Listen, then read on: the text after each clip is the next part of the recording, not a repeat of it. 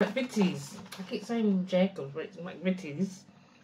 Have made Jaffa cakes with cola bottle flavour. Oh my gosh, when I saw that, I said, nope, this is something I gotta buy try it, see if I like it. I stuck one in the fridge because I like my chocolate cold. I don't like melted chocolate. So how many you get.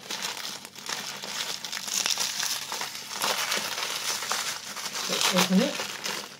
The Jaffa cakes are usually orange in the middle.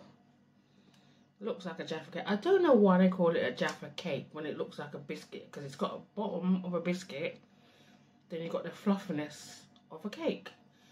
Biscuit, cake, whatever it is. Let's take a bite.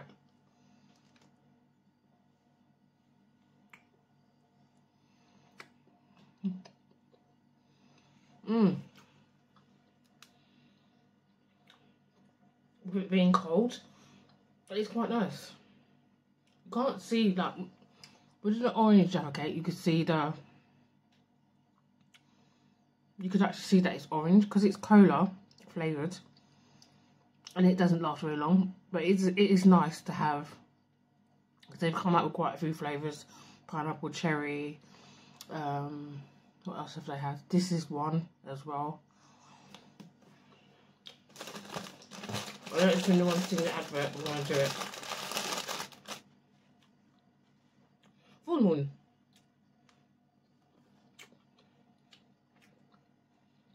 half moon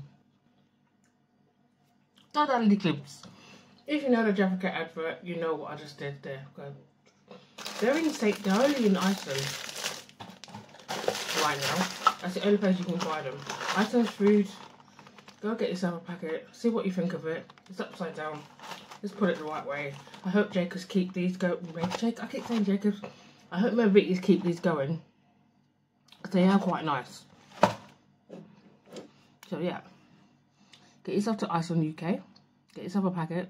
Try it. See if you like it. If you like it, you like it. If you don't, you don't. But I like it.